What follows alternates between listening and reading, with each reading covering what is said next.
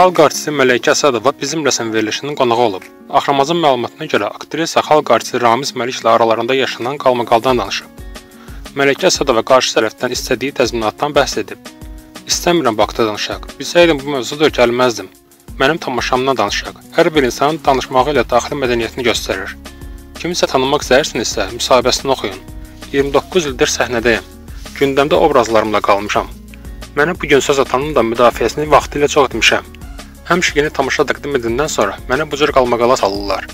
Yenə də cəhənnəm sakinlərində oynadım. Anşlaq oldu. Səhəri belə qalmaqal yarandı.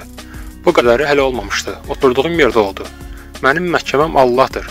Yəqin mənim varlığımı qəbul etmirlər. Teatrda ən çətin obrazlar oynadım. Mənə məhkəmədə istənilən təzminatdan bir qəpik də istəmirəm. Puldan mənim evimə girməyəcək. Pulu olmayan dilinə yiyəli yetsin. Qeyd edək ki, Mələkə Əsədova onu və ailəsini təhqir edən Ramiz Məlikdən 100 min manat təzminat istəyir.